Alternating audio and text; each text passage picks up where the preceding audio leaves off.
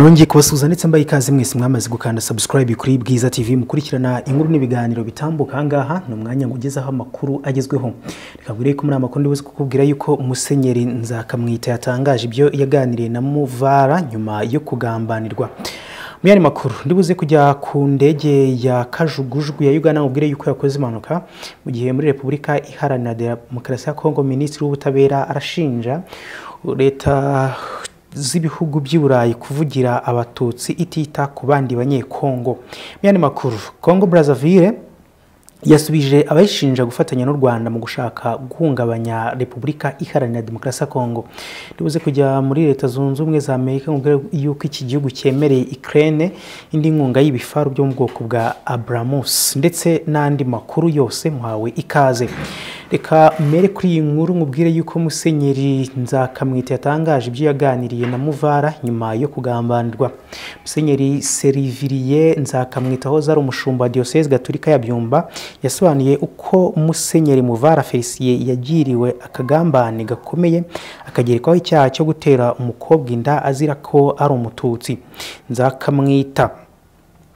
Mu kiganiro yagiriye ku gicaniro tv yasobanuye ko muvara yari yatorewe kuba umwepiskopi wa diyoseze ya gikongoro yari nk'ishami rya diyoseze nkuru ya butare yari iyobowe na musenyeri gahamanyi jean batiste yagize ati bari bamutoreye kuyobora diyoseze ya gikongoro. Ntabwo yagombaga gusimbura musenyeri gahamanyi. Yagombaga kujya mu gapande ka gikongoro ndetse sinzi niba atari eveke auxiliaire wagombaga kuzafasha musenyeri gahamanyi muri ako gapande.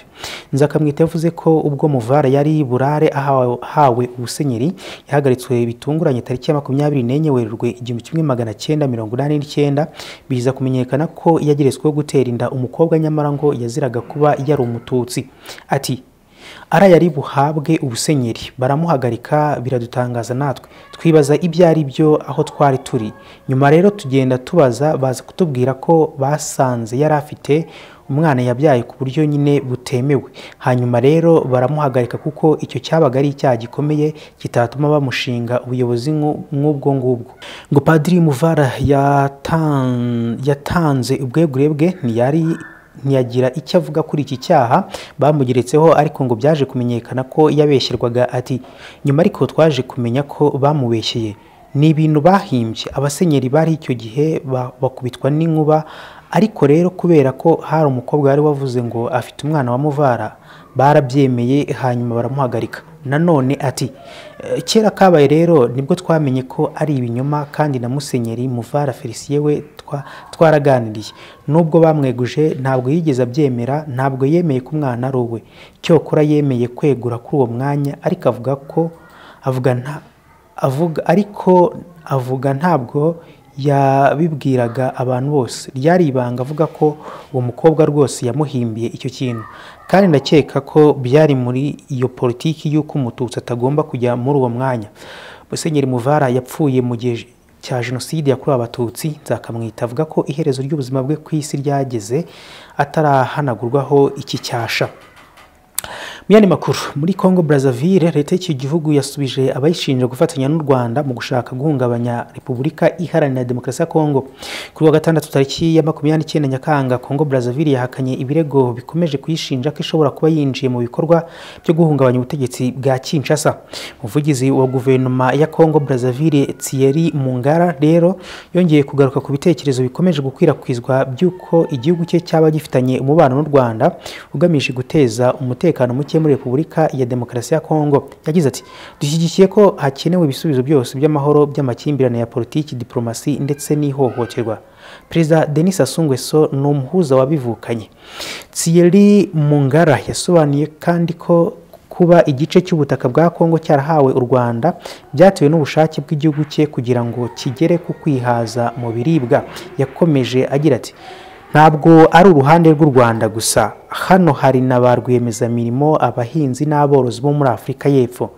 Hari abandi banyamahanga baza. Ku rundi ruhande ndumva ko ibyo bibazo biri sansibure kuri repubulika ya demokarasi ya kongo yaboneyeho guhamagarira ibitangazamakuru byo ku mpande zombi z'umugezi wa kongo gutangaza amakuru mu buryo bwa kinyamwuga. Minisitiri w'itumanaho muri kongo brazzaville rero yasubizaga ikibazo cy'abanyamakuru b'i kinshasa nyuma yo gusohoka mu kiganiro. Minisitiri w'intebe wa repubulika iharanira demokarasi ya kongo jean michel samarokonde yagiranaga na mugenzi we wa kongo brazzaville anatole coline makoso. Tukiri n'ubundi muri kongo minisitiri w'ubutabera arashinja eyu kuvugira abatutsi itita ku bandi banyekongo. Nyuma y'iminsi itari mike umuryango w'ubumwe bw'uburayi umusabye kugira icyo akora ku magambo y'amacakubiri ya justin bitakwira yibasira abatutsi abanyamurenge minisitiri w'ubutabera rose mutombo yaje kugira icyo avuga nawe anenga uyu muryango awushinja kubugama mu ibaruwa yandikiwe ambasaderi w'intumwa z'umuryango w'ubumwe bw'uburayi muri repubulika ya demokarasi ya kongo rose mutombo. Bigaragara ko atabizi cyangwa abizi nawe yaba yaraguye mu ivangura ryibasiye abanyamurenge mu gihe umuryango w'ubumwe bw'uburayi usaba kwamaganwa kwamagana amagambo y'uwahoze ari minisitiri bitakwira ububarizwa mu nteko ishinga amategeko minisitiri mutombo nk'uko tubikesha urubuga infodirects.net ruvuga ko yanditse agira ati mbabajwe no kumenya ko iyi baruwa hamwe n'ibirimo bisebanya kandi bisa no kwivanga. Yari yamaze gukwirakwira mu miyoboro ndetse na mbere yo kwakirwa na serivisi zanjye. Bikaba byerekana ko byakorewe ahandi hatari mu biro byanjye.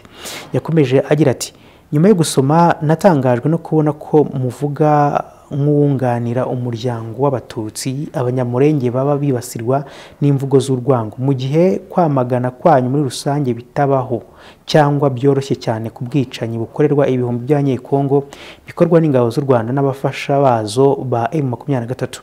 Uyu minisitiri yahamagariye ambasaderi wa eyu ikinshasa kubahiriza inshingano zo kwifata no kwitabaza visi minisitiri ushinzwe ububanyi n'amahanga mbere yo gushimangira icyemezo cye cyo kurwanya ihohoterwa iryo ari ryo ryose muri repubulika ya demokarasi ya kongo. Muri uganda kajugujugu yakoze impanuka. Kajugujugu y'igisirikare cya uganda yituye hasi. Kajugujugu y'igisirikare cya uganda kirwanira mu kirere yituye hasi ku mugoroba wo kuri uyu wa makumyabiri n'icyenda nyakanga. Ibihumbi na makumyabiri na gatatu ubwo yari mu bikorwa byo kurinda umutekano mu karere ka karamoja umuvugizi wa updf brigadier general felix kulayige mu itangazo yashyize hanze kuri uyu wa mirongo itatu nyakanga yasobanuye ko iyi ndege mu bwoko bwa mi makumyabiri na kane yituye mu gace ka nadiketi mu birometero bitanu uvuye ku kigo cya gisirikare cya moroto uyu musirikare yasobanuye kandi ko abantu bane bari muri iyi ndege barimo umupilote umwe nta kibazo bagiriye muri iyi mpanuka kandi ko ahantu yaguye harinzwe mu gihe hari gukorwa iperereza. Abaturage baturiye ahabereye iyi mpanuka babujijwe kuhegera. Naho mu yandi makuru leta zunze ubumwe za amerika zemereye ikirere indi nkunga y'ibifaru byo mu bwoko bwa abrams. Igihugu cya ikirere cyemereye cyemerewe inkunga ikomeye na leta zunze ubumwe za amerika inkunga izajya ifasha guhangana n'igihugu cy'uburusiya bahanganye na cyo muri iyi minsi. Iyi nkunga y'ibifaru byo mu bwoko bwa abrams iki gihugu cyahawe ngo bizabanza kujyanwa mu budage kugira ngo bibanze gukanikwa bikaba bigomba koherezwa muri iki gihugu bitarenze muri kanama ibihumbi na makumyabiri na gatatu. Umwe mu bantu baganiriye yagize ati gahunda ni ukohereza ibifaru bike bya abrams mu budage muri kanama aho bigomba gutunganywa bwa nyuma. Ubwo icyo gikorwa kizaba kirangiye icyiciro cya mbere cya za abrams kizoherezwa muri ukraine mu kwezi gukurikiraho. Muri ukraine bivuga ko amerika izoherezayo ibifaru byo mu bwoko bwa m1 a1 aho kuba ibigezweho bya a2 aho byo byafata nibura umwaka kugira ngo bigere muri Ukraine. Yakomeje ati icyiciro cya mbere kizaba kirimo nk'ibifaru bitandatu kugeza ku munani. Hari amakuru ariko avuga ko ibyo bifaru bibanza gukurwamo ikoranabuhanga ry'umwihariko wa Amerika mbere yo kubyohereza muri Ukraine. Igisirikare cya Ukraine kivuga ko gukoresha ibyo bifaru bishobora gutangira nyuma y'imyitozo y'ibyumweru icumi aho imyitozo nibura izarangira muri Kanama. Umuvugizi wa Minisiteri y'Ingabo ya Amerika Colonel Martin O'Donnell yagize ati turimo gukora ibishoboka kugira ngo tubigeze muri Ukraine mu gihe cya vuba bishoboka. Icyakora ubuyobozi bwa leta zunze ubumwe za amerika bwirinze gutangaza ingengabihe yose y'uko bizoherezwa. Muri Colombia umuhungu wa perezida wa Colombia yatawe muri yombi ashinjwa kwigwizaho umutungo.